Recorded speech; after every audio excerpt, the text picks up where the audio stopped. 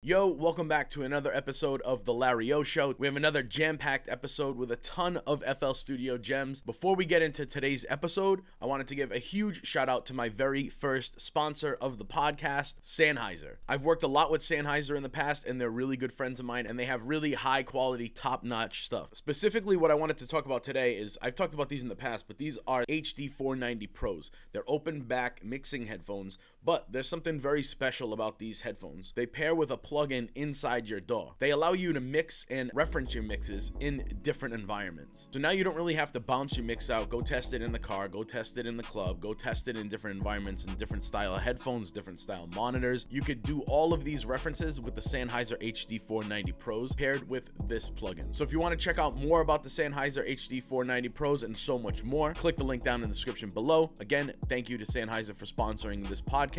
Let's get into the episode. This week, like every other week, we're going to be doing another massive FL Studio course giveaway.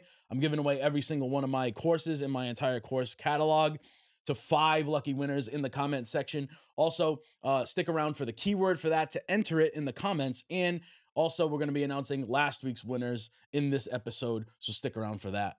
Uh, with that being said, you know we can hop right into it. Um, I wish we had more FL Studio news. We were kind of just talking about this a little while ago. It's been a little bit quiet, and one thing that I was kind of like concerned about, not concerned about, but like thinking about earlier today and a few days ago was where the hell is FL Studio on 21.3? Uh, FL Studio 21.3. It's still in beta, so it still Mhm. technically says uh 21.2.99 or something like that. That's what they call it when it's in beta. Yeah, 21.2.99. It's it's still and I double checked it. So I went to like FL Studios website and then go to the download. That's how I can normally check. I'll go to see what version they have. Like right when you're about to download the free trial, it Mm. tells you what version it is. And even the free trial is always the most updated version. So that's how I can like double check and see if it's up been updated. And it's not. And It's it's not. been I feel like it's been months. I mean, I could be wrong, but I feel like it's been a, a while. So that means technically the chord generation, all that stuff that we've been talking about for Mhm. a long time is still not technically out yet. So the chord generation is not out yet. Uh Kepler, the new Kepler isn't out yet. All this stuff is not out yet because it's I feel like it's all right. So here, I think it's been since March. March 15th. Now, So- when they when they sort of like start teasing the beta and all Yeah. that stuff, do they? They don't Did- even really tease it, by the way. Yeah, it's just like in the forums, isn't it? It's they drop put it in, the forums. Yeah. quietly. So Yeah. how do how do people know what's going to be included in the beta before it comes out? they tell you they they'll tell you like, Like in so the- like in key new announcement or features in beta too. So Mm. like right here in the in the forum it says it gives you a known issues. Uh, then gives you the installers for Windows and Mac, right? yeah, Um, that come in separately, so they don't overwrite anything. Then it has, like I said, known issues, and then it says key new features in beta two. It says piano roll, uh, note repeat for the piano roll target editor area oh yep. uh, blah blah blah.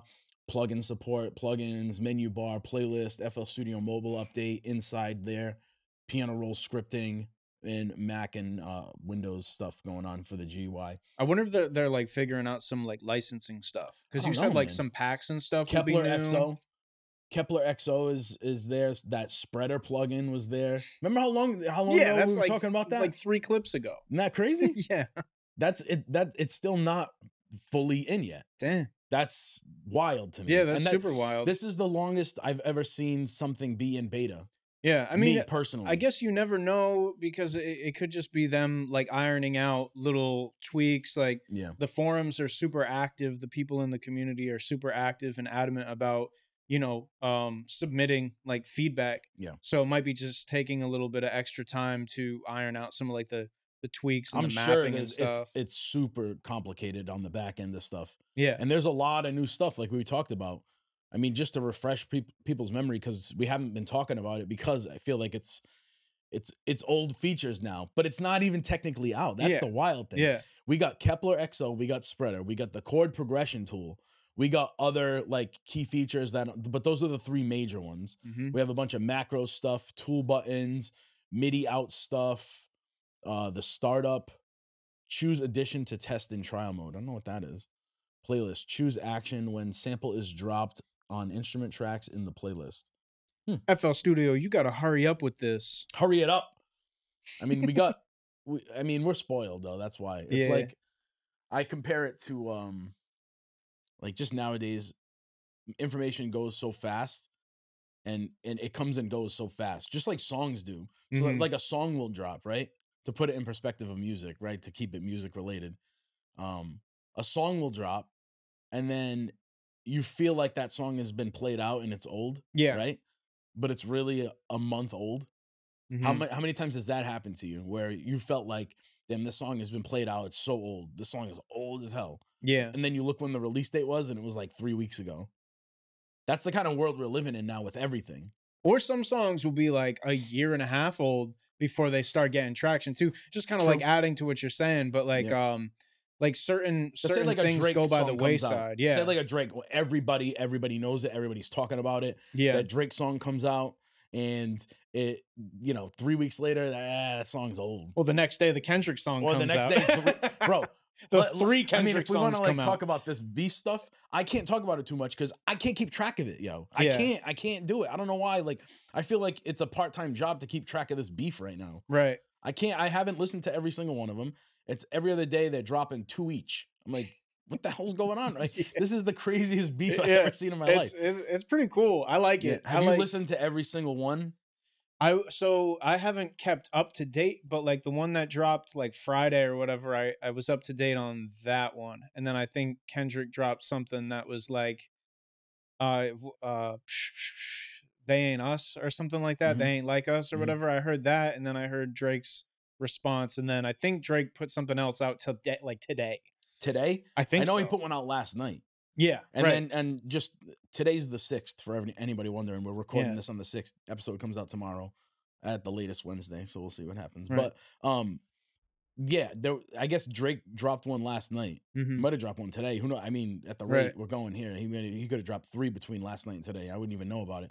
But kind of like pigtailing back to like Yeah. what where this whole thing kind of comes from it's like the songs and like songs and media and content and and updates will come out and they're kind of like pigtailed to whatever else they're associated with so like mm. in the like so with the disses it works that the songs are so quick back to back because the story is is bigger than the songs are. Yeah. The story is really like the you know everything around it. Mm. Like you know like legacy matches, Yeah. like classic like tag teams, classic rivalries.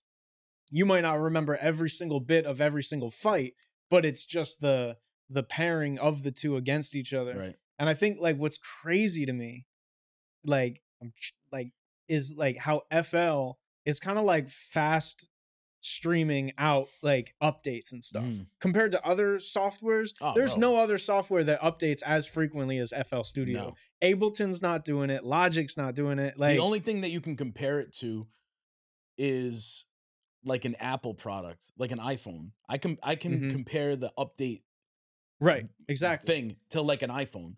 Like that's how popular Mhm. FL is compared Right. to a lot of other DAWs. I mean, not maybe maybe it's just not that it's it's it's as popular and there's that much of a demand, which I think there is, but this is this is the number one reason why FL Studio is the best DAW out there is because they're able to update as frequently as people in the community are tapping in and letting them True. know what Yep. needs to be done. No other software is doing it. nah. Nobody's doing that. Nobody. I mean, I feel like other DAWs, it'll be like once a year they'll drop an update. Yeah, exactly. And then they got and then they got bug Yeah. fixes throughout the next year. right. you know what I'm so saying? I, I don't want to hear this. Whereas like FL has such a great system down. Yeah. We've talked about this too in the past where I mean, we're talking about it right now, the whole beta system that Right. they have going on. That that system and that community that they have going on in the background is such a well put together system in my eyes. I don't know Mhm. if, you know, from the beginning they thought of it like that or if that's just the way that they um kind of transitioned into going into the whole testing thing where they test a certain amount in house and then they just they give it to the public kind of low key, give it to the Mhm. public. But now FL Studio is so big, is like we're talking about beta in the in the FL Studio news in the community as if it's the biggest thing in the world, like it's a big drop, which it is a big drop. But right. like I said, we've been talking about it for two months now, and it's not even technically dropped, and it's kind of like old news already. You know what I mean? Yeah, yeah. It's old news, and it's not even really out yet. Right, right, right. That'll be interesting to see. Like, I mean, how I wonder how much that will be relevant to them. Is like how fresh is this on people's minds? Like this update. it'll Like- it'll refresh It'll- because FL Studio hasn't come out themselves and talked about any of this Right. stuff. Only It's- we it's have just guys like us. You know what I mean? It's, yeah. Yeah. it's us. It's the community that's been buzzing The about FL this, about- hive. yeah, the FL beehive. We've been, we've been buzzing. that's a hockey term that like uh, they use a lot that I want to like bring into like Buzzing? yeah, yeah. boy, you, bu- you've been buzzing. You're buzzing. He's buzzing right now. Like talking about a goalie or like somebody that just scored a couple goals. Yeah, yeah, Yo, T, the boys have been buzzing. The Yeah. boys are buzzing right now. yeah, yeah. but Real. like, um, yeah, to go back to that is like, yeah, the, the community is buzzing to the point where we talk about these things and FL Studio stays quiet on them until they're fully, fully released. Yeah, yeah. So it'll be to go back to that point, it'll be a big refresher to the to everybody once FL Mhm. Studio announces when they're fully released because they'll make their posts because these are huge updates. So but they, they, will made that make an update. um, they made that TM88 video, right? That's like kind Yeah. of advertising a feature from this upcoming release, right? No, that's that's been around. That's been around? Honestly, bro, that's been in for a few updates. I think that was that was twenty one point two. So that's Ah. that's been a bit. yeah, They dropped that video, to kind of like research people's Very- like awareness of it. yeah, like close to where we talked about it and put it in last. Was it the last? No, it was two episodes ago. I Yeah. think we talked about it and put it in the episode. So it's it's been around for a little bit, and then so some things they're a little slower to make content on because they have a billion things they're doing. Mhm. as we can see. So they don't get around to every but to go back to that point again, this these are such big features that when they do drop, I would bet a lot on the fact that they're gonna announce it right when it drops. Like the day of, like they'll have content ready. It'll be a huge deal. Right. Because it was such a huge I, and I'm I'm basing that off of how big of a deal it was uh in the community in beta. It's gonna be a huge deal when they drop it. We're all gonna be talking about it again. There's gonna be a ton of people that forgot, didn't get beta, didn't even hear about any of this stuff Mm. that are gonna be really excited when it fully drops because there's some people that see that it's in beta and they're like, ah, I'll wait for it to drop in the full version because they don't want to they don't want to download a- another version of FL. Maybe they their computer can't handle it. They don't have enough space for it because it is another full version of FL Studio on your computer. Yeah, you having a second version. Yeah, so you know it's an extra gig or whatever. If you don't have the space for it, hmm you don't get it. Um, we talked about like uh, some 808 stuff. I, I, I want to know like some of your 808 gems. 808s is just always uh, obviously it's a huge topic of conversation. hmm Um, do you sidechain? Do you not sidechain? What do you go for in an 808 when you're looking and going through, skimming through sounds? What do you look for in an 808? Mm. Like that, that sort of thing. For me, I'm like the, the biggest thing about the 808 for me is like I like it to I like it I like it to be at the bottom there. Mhm. Like just kind a lot of bottom, bottom end. Yeah, yeah. Like Are you that- more bottom end when it comes to 808s, or do you like the the sizzle on top that kind of like cuts I through like the bottom end. Yeah. You know what I'm saying? I'm a mm, when it's got a nice bottom.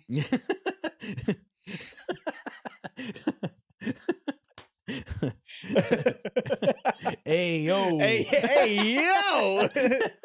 what the um no but I, I like just that kind of that flavor of it because like i like the the the distorted like really loud ones Mhm. too like that you would get with like like uh ronnie yeah, oh my gosh ronnie whatever like like that 808 but like i me personally that's not like where i go to with my 808s just because like my my beats typically don't sound like that but i like i like you know like the Spinz 808 of course you know just what i'm cuts saying through every mix. and uh but like even that being said, like what I've taken to doing lately is all like uh I'll just make an 808 with a sub bass. Oh, there you go. Because that's kind of how I like and then well, my- how will you get it to like? Because when you do it with a sub, what do you do with three X oscillator? yeah. So when you do it with the 3x oscillator, it's just a sine wave. So, Correct, yeah. So when you do it with the 3x oscillator, just so I can like refresh my memory, I'll bring it up real quick. And then so I'll I'll have the note be really short on piano roll. do you turn down the other two oscillators because it's 3x oscillator? So there's three oscillators. uh yeah, I'll, I'll like turn the other ones off so it's just that one. I think I I think that that's what I do. I don't know. It's just like it's so a habit thing. It's a that I- habit thing. I forgot about it until I You just opened it up and I'm I'm going through my muscle Yeah. memory. When I open it up, I instantly turn off two and three. These two Right. knobs all the way on the right. mm-hmm. I turn those off turn them down all the way, and then I go to the coarse and I turn that down to negative 24, which is all the way down, and it all that does is drop it two complete octaves. So Yeah. that way you're working with a lower register sound right off the bat. Like And then what I'll do is like uh when I put the when I put the 3x sub bass into uh piano roll, Mhm. I'll like shorten the notes and then mess with the uh like how they attack and how they release. where And- at, like inside the note. No, in like the um the sample area. Oh, okay. Yeah. So like the how it comes through is kind of different. Oh wait, so do you print it to audio and then bring it in? You're saying? Yeah, yeah. okay. So when you do that, are you shaping it beforehand? Like in 3x oscillator, you're creating an 808 Mm-hmm. essentially, right? So let's go back a little bit. You're creating an 808 in there, and then when you find something that a sound that you like, or you're printing that to audio, Mhm. and then pulling the audio clip in as Mhm. as if you would any 808 sample. Any pack, yeah. and like then like you're a pack. tweaking a little bit more in there. Mhm. I got yeah, you. Yep. Are you adding any like distortion uh before you print that to audio or are you doing that afterwards? I'll do it. Um, it, it depends on what I'm going for. Like if I want, for instance, if I want it to have uh like an 808 feel, but have like almost like a triangle Mhm. synth in like, so I won't always mute the top two, but I'll keep like the high end with like a triangle uh Mhm. waveform, I got you. just to kind of make it unique it'll and different. It, it'll give it that. you yeah, it'll just yeah, you're not gonna get that 808 in any other pack. You know what I'm saying? And I don't I don't make packs, but like I like to think like if I'm gonna make something, it's gonna sound different from like Yeah. whatever else is out there. Yeah. You know? Um, Um another another good thing is like that I use I utilize a lot when you're in the sampler is in the pre-computed effects tab in that boost knob. yeah, So you can like really distort a signal like that. So if especially if you're creating your own 808 with the 3x oscillator and it mhm. doesn't really have too much distortion, you could just distort it with that boost knob yeah, for sure. And then it- the only thing is, if you want to save that 808, you'd have to let, then print it again so that way you save that version of it. Mhm. Otherwise, it'll only be like that in that session. right. So keep that in mind. Yeah. the, like I'll use that uh that boost for um I'll use it for kicks sometimes, but it, it's always like here and there that I use it because sometimes it doesn't sound right, like it's too aggressive. And not be. only not only is it like um it, it just like hikes up a lot of like the more like high end, Mm. like mid high frequencies of the kick, which isn't typically like what I'm looking for from my kick anyways. Like I like it a little bit more like More punchy. yeah, Yeah. yeah. And then you can you, you can uh, turn on the clip button too, Mhm. so it'll almost clip it. It I mean, it will not almost. It'll hard clip it at zero. Yeah. Otherwise, if you just do the boost, it's kind of just it's going past zero. It just gives a different sound. I don't know like the technicality behind that, but like just try it out. Try messing with it. Give it a you know. Yeah, the clip knob is definitely like a, a secret gem. I love that. I don't know when. I would love to remember like when they added that. I remember they they um they Well, you- updated you- the, the crap out of the pre-computed effects at one point. They Mhm. added the boost. They added all this stuff. I remember think- you using that back in like everything. 2018. Yeah, I remember you using that back in 2018 it when might we have were it cooking might have came stuff up. through. Yeah, it might have came were through then. you were just like, "Yo, like I've been doing this to make the kicks hit harder." Yep. And you started messing with that, like the clip knob, and it was instantly like, oh, Yeah. it's like, oh, dang, It's been a bit. Crazy. Yeah. It might have been with 20, Mhm. FL20. Whenever they created FL20, it might have been around then. yeah. because that definitely wasn't always there. There, I don't even think there was a, a pre-computed effects tab at all. I love the stereo delay too, bro. I Mhm. love that. That's my that's one of my go-tos. Sometimes I abuse it, but I love it. It just it it just takes away the need for a plugin that can do that. Like Yeah. you want get you want to really just like stereo separate something, create some space in your mix. Mess around with the stereo delay option because I mean it is it, it, like I said it can be aggressive and you could almost do like too much and ruin a mix, ruin a sample. Mm. So when you're doing that, advice that I can give if you do mess around with the stereo delay, double check in mono. Double check your whole song. If you ever mess with sure. that, go right to your master, go right to the master, and then just uh, turn that in mono real quick. Turn your whole mix into mono and then test it again to hear it and see if you like ruined it essentially Yeah. because it can be very very aggressive because essentially it's it's taken whatever signal that is and it's picture creating two of the of that same sample and then panning one all the way to the left, one all the way to the right, and then going pop, shifting them just a little bit like Mm. that. Yeah. Essentially, that's what it's doing. If you can kind of picture that in your head. and then like how i kind of how i kind of uh describe mixing in mono versus in stereo is like when say you're listening to the song in stereo and then you send it into mono how different it sounds like how more lo-fi it sounds in mono Mm. you want to reduce so basically you want to be able to flip from stereo to mono to stereo without feeling like you're losing too much from the quality of the song be it the frequencies that are getting cut off um the stereo image that's getting like cut off and and sent down the center um and so typically what i've found is that like the the cloudier frequencies tend to really get brought out in the mono stuff um which is its own quality like definitely don't take that completely out but be like all right i could definitely take a little bit of that cloudiness out to kind of clean the the signal overall through um and then when you're talking about like stereo delays and stuff like that by monitoring in mono when those stereo effects come into effect no pun intended you're gonna either hear it get cut off or when you you know reduce the overall like input or or width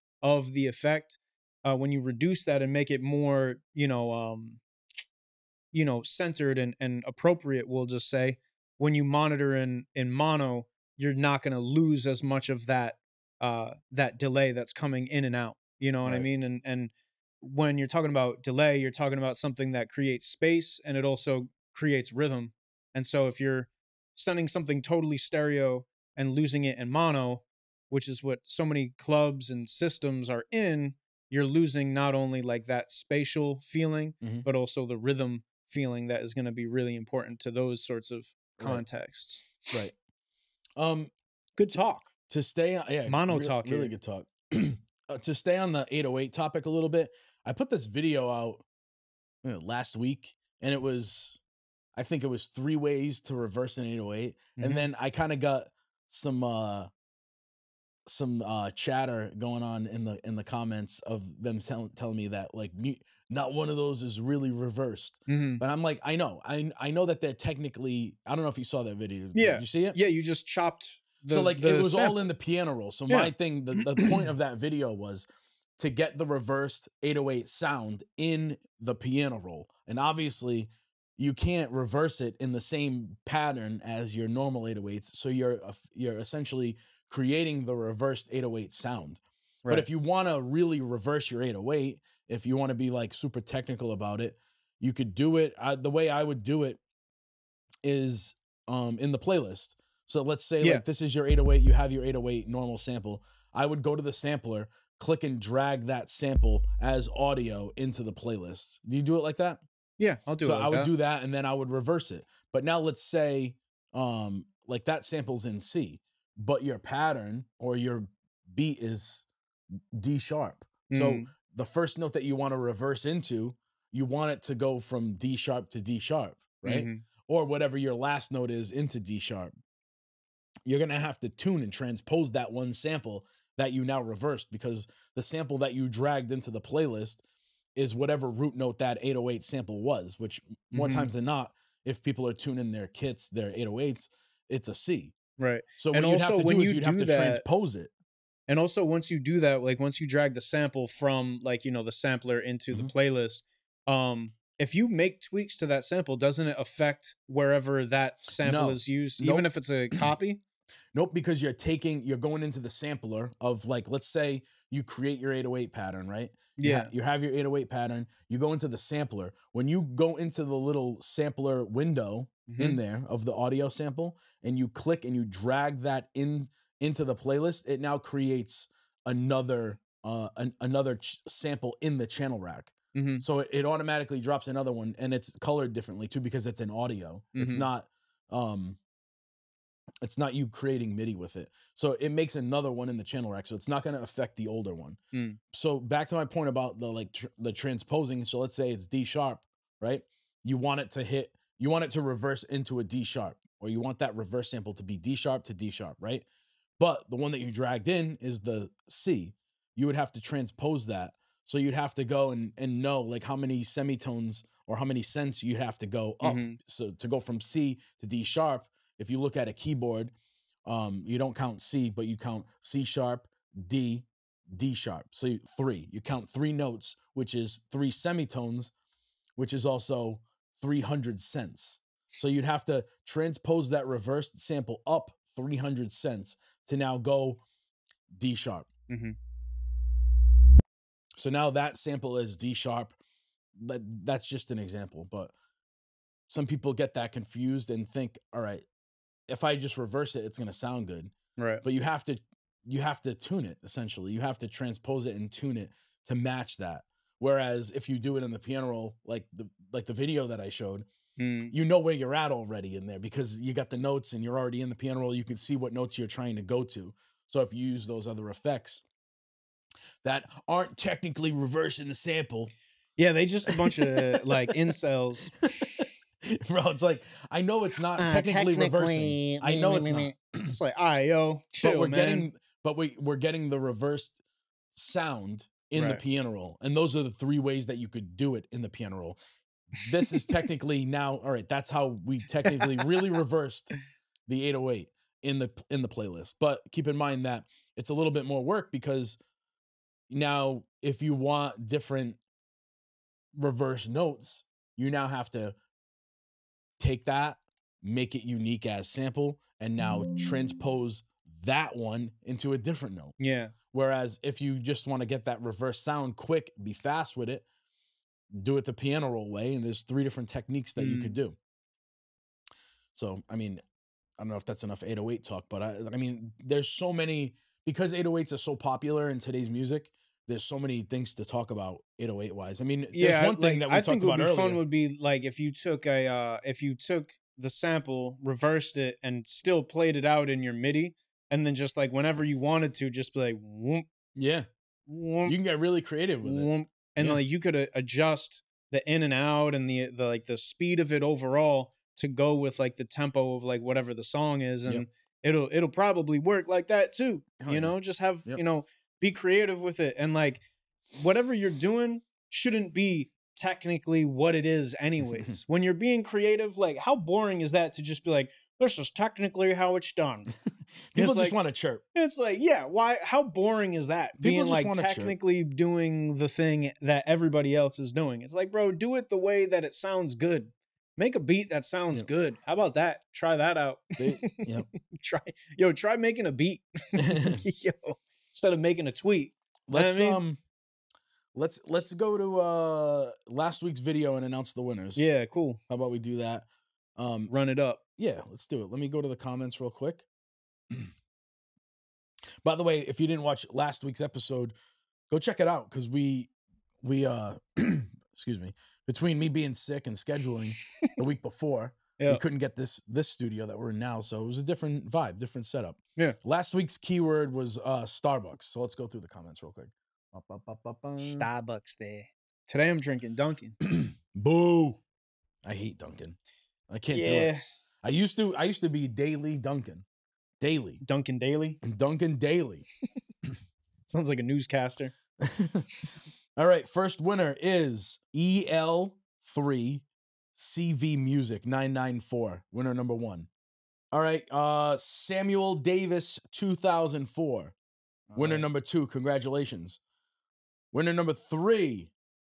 Oh wow, it's the same one. I think somebody commented twice. I'm going to scroll randomly. winner number 3 is CCUNY1, winner number 4. Scroll, scroll, scroll, scroll, scroll. Bum, bum. Tyler Dean 42. Okay, We got some easy names today. Not Thank too bad. God. Not too bad. Winner number five. Final winner for today, for last week's episode. All right, here we go with the hard one. Oof. Jinxed it. Uh, ya- Yashar HP, Y A S H A R H P, 1669. Congratulations, you are, you are the fifth and final winner for last week's episode. Uh, if you heard your name and you're one of the five winners, DM me on Instagram. I'll send you all the links to every single one of my FL Studio and music production courses. Yeah. Um, I mean, while we're on the topic, let's do the keyword. Okay, hell yeah. Keyword, key phrase for this week is boiler room. I'm gonna be picking five winners next week. Comment boiler room in the comment section down below. Next week we're picking another five winners. Yeah. That's a little gem. I haven't talked about it in a while. I've talked about it in the past, but like, do you do a lot of sends? No, Like not, not really. Sends, FX sends. No, I don't. I don't do a lot of sends. No. So you're putting effects like a lot, mostly like when you let's say when you do a reverb or a delay, are you putting it directly on the sound? I'll put it on the sound. really? I'll I'll send for like compression and uh and limiting. Mm. So like with the with the fruity limiter, I'll like bring I'll bring the ceiling down to around where like the highest peaks are of the vocal. Yep. And then I'll just give a little push to just like glue it to Okay. that center. And what I like about that, I mean, if you're not overdoing it, you don't get a ton of like background noise and like underbelly, Mhm. but it glues like the energy of the vocal to like a nice uh like volume. All right. And it to me it just sounds like more professional. Yeah. You know what I mean? And more crispy. I've never done that, um, but I like it. I like that. You've never done that? not for a compression. No. Like Fruity Limiter? Not not like in a send like that. I mean, Mm. technically, yes, I have because if I if I'm doing my vocal chain, things have been sent to that vocal chain. Yeah, Essentially, yeah. it's the same idea. I'll put it on the vocals. Yeah. yeah, yeah. yeah. I'll do like a, a compression and then the but I've never done well. it where it's just like one compressor on like an effects send, and I'm sending things to it like that. I've never done oh, it Oh, I like see. that. Yeah, yeah, yeah. So I've- you you put that directly on? I'll put that directly if, if it calls for it. If the Yeah. sound calls for it. I mean, with my beats nowadays, it's just like I'm not compressing anything really. Like, Yeah. Maybe if the melody section sounds like it's kind of too much all over the place volume wise, and I can't get a good level on Mhm. everything, I might go to I might create because even in every beat, I'm not creating a, a melody bus either. But only if it sounds like it calls for it, where I think, all right, the melody section is just kind of like it's all over the place. I need to like squash it down a little Right. bit. I'll create a melody bus. The way I do that, that's a send. I mean, we, we throw these terms out, but a, a melody bus or a drum bus or a vocal chain or an auxiliary send or an effect send, it's essentially all the same thing. hmm And in FL Studio, it's the easiest thing in the world to create. People get confused because they're like, where are the sends at? Where are they at? Every track can be a send. Any track can be a send and be, Yeah. you know, have you send something to it. You're sending signal to It's just a yeah, it's just a mixer track. The way to do it, pick an empty mixer track, rename it reverb send, right? Or Mhm. just reverb, right? And then I like to do it just to make it look nice as I dock it to the right. So that way it's just off to the side. Yeah. And then I'll throw I my reverb too. on there. So let's say we're doing a reverb. I'll throw the reverb on there. You have to turn the dry all the way down or else you're going to double the signal. Turn the wet, just reset that wet knob to 100. Don't boost it all. I mean, you can boost it all the way up, but uh, for some reason, if you turn it all the way up, it goes up to 125. Whereas if you just reset it, it stays at 100. They give you a little bit extra. Then uh, you create your reverb sound however you want to create it. And you know, you could uh, what I do a lot of times is throw an EQ on after, clean it up, maybe clean up some lows, hmm you know, just throw a little low pass, maybe high pass. That's a there. gem. Yeah, throwing an EQ on after that in the reverb send. Yeah. I like to do that. So that way, whatever you throw into that reverb, you're cleaning it up a little bit. hmm And the like the digital reverb just adds a lot of that that like fake quality to Yeah. it. You know what I'm saying? So like when you roll off a little bit of that extra high end or low end, really where I where Mhm. I hear it most is like in the high end. Yeah. Where I'm like wanting to clean that up just because it adds so much to the top that I'm just like let's naturalize this a little bit. Let's make this sound a little bit more natural, you Yep. know, cuz I'm, I'm a big fan of that. Also, side chaining Mhm. the reverb. Mhm. So the same way I like to sidechain pretty much my 808s, my kicks and 808s, I sidechain the reverb the same way. Mhm. I'll at the end of whatever other effects I put in that send. So let's say for instance it's just the actual reverb, whatever my setting is, then my EQ where I'm kind of cleaning up the lows and the highs, do whatever you want there. Uh, That goes to taste, so do whatever you want. At the very end, and just to make sure that it's always at the end, I, I usually go into slot number 10 and then I put the fruity limiter in there. Mhm. That's just my favorite way of side chaining. And then I'll throw it on the compressor setting. And then um, you have to have something sent to it. So let's just say we have track insert number one. And then you just highlight track number one. and then let's say we want reverb on that track, I'll left click the arrow on the bottom of the reverb send. Now you have that little volume. Choose the amount of volume and the amount of reverb that you want to put on there. Now, if you go back to the limiter inside of that, you can now scroll up to number one. Right now, I only have one thing sidechain to it and it knows it now. So now that's sidechain. And then from there, just go to taste as far as how much sidechain you want. So that's really good because let's say you have reverb on your vocals, right? Mhm. And you don't want that reverb to be constant all the way through. You want like a good, wet, nice amount of reverb on those vocals, but you only want it to like really peak through during those like little gaps. You want it there the whole time, but you don't want it full full blast, full volume that whole entire Full vocal- throttle. full throttle the entire time. yeah. You want those moments to where the vocal dips down and there's that little gap, maybe that little bit of breath, that air. You want the reverb to come in and fill that. Mm-hmm. Sidechaining it like this is the best way to do it. So you would just adjust the threshold. You would play the vocal through, Mm. adjust the threshold, adjust the ratio to the point where you can you'll be able to see the peaks coming through, and then you adjust it to taste there, Mhm. and then it'll only just it'll peak through. How much it, it it depends on how much you want in there. So if you want it to be completely silent while the vocal's going through and only peek through during those gaps, you could do that. You would just have a lot of threshold, a lot of ratio going on to where it's zeroed out when the vocal's coming through and it just shoots up to whatever volume it's at. Play around with that. Uh, play around the threshold, the ratio, and also play around with the actual level that's being sent to that uh, that reverb send as well.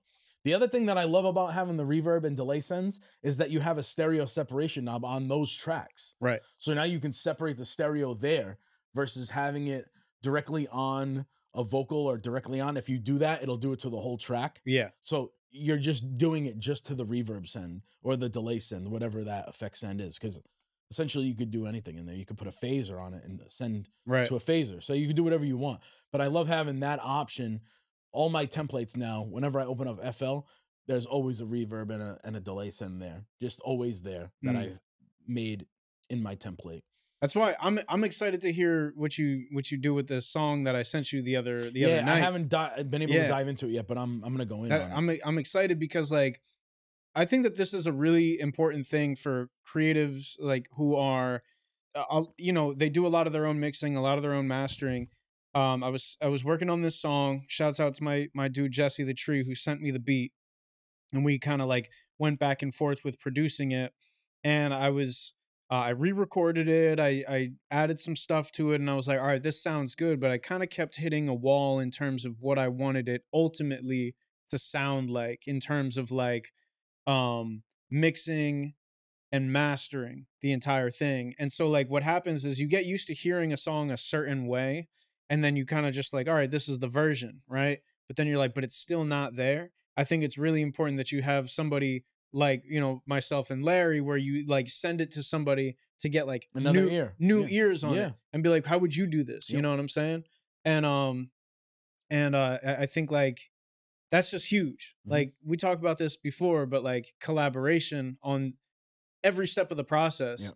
is really important because you're not gonna like you can't carry the boat and being open minded. what I've noticed about like working a lot with you in the past is like how open minded you are when somebody gives a suggestion or wants to try something else out. yeah, Like you, like you might not e- even in your head. Sometimes you're like, ah, I don't think it's gonna work, but we're gonna try it. You know Yeah. what I'm saying we're, we're, we're gonna try it anyways. Right. Just try it because sometimes what you picture in your head is completely different than what actually happens when you hear it for sure.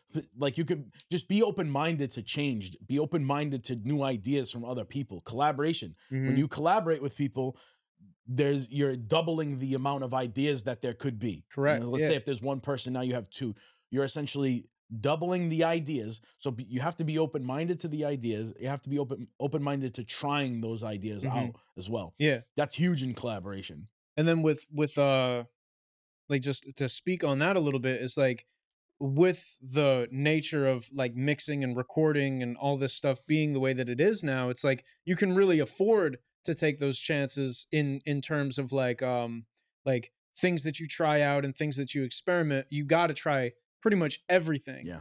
That is that is going to potentially move this thing forward. Right.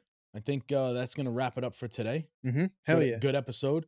Again, thank you everybody for watching, sharing, liking, commenting, subscribing. If you haven't, make sure you please like, comment, and subscribe. And as always, make sure to share this with a friend if you, get me.